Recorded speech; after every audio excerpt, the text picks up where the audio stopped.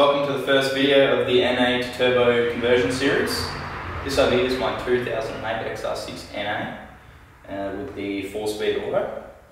And I actually have already converted this to turbo. So it had a BF NA motor in it. I pulled that out probably six months ago and swapped in a BA turbo motor. We have the engine out at the moment, we've taken the turbo motor out. We're actually selling the BA turbo motor that we set the car up with and we're opting for a BA NA motor.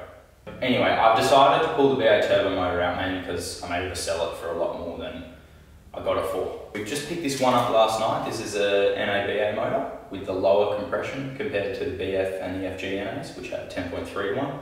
This, on the other hand, has a 9.7 to 1, so we'll have a little bit more room on 98 until it becomes knock limited. But I think we're going to have two separate tunes for it, um, assuming once we do the teardown, um, the motor's good. So, let's get into it. Cheers, guys.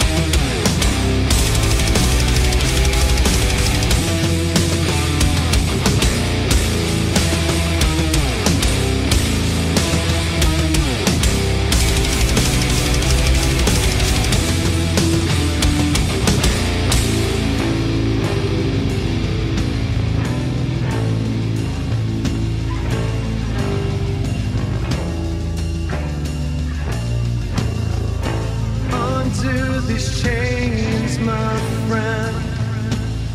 I'll show you the rage I've hidden. Perish the sacrament. Swallow, but nothing's forgiven.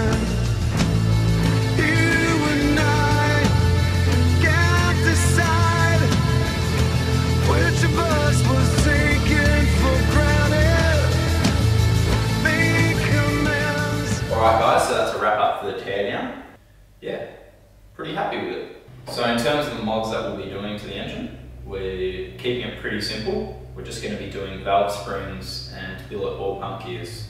And that's about as uh, much as it's going to get. We're trying to sort of keep boost under 10 psi. Then we can pretty much crank that up to, uh, yeah, under 15 on E85. So next video, we'll just be taking some of the parts to the hot wash and getting everything sprayed. We'll see you in the next one.